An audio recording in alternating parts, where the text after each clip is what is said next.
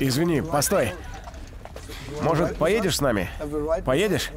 На моей машине. Она твоя? Да, моя, поедешь? Давай. Ну как, поедешь? Машина-то моя. Эй, кончай дурить, не болтай. Как тебя звать? Виктория. А меня Зонна. Очень приятно. Как? Зонна. Ну как? О, красивая рука. Как солнце по-немецки.